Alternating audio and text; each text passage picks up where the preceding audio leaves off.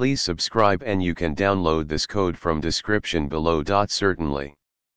To help you modify a Python script to exclude a specific section and generate a new JSON file without that section, I'll provide a step-by-step -step tutorial with a code example.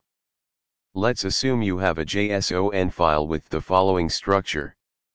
In this example, you want to remove the section underscore to underscore remove from the JSON file. Here's how you can modify the Python script to achieve this. Explanation the remove underscore section function takes the original JSON data and the name of the section to be removed. It checks if the section exists in the JSON data and deletes it if found. The write underscore JSON function takes a dictionary, JSON data, and the path to an output file, and it writes the dictionary to the specified JSON file with proper indentation. The main part of the script reads the original JSON file, removes the specified section, and writes the modified data to a new JSON file.